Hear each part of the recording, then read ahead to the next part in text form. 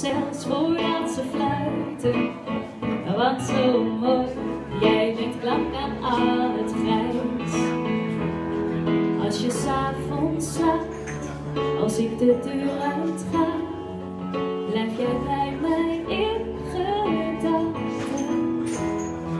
Het simpele waarom ik dit achterkom, als ik aan jou denk.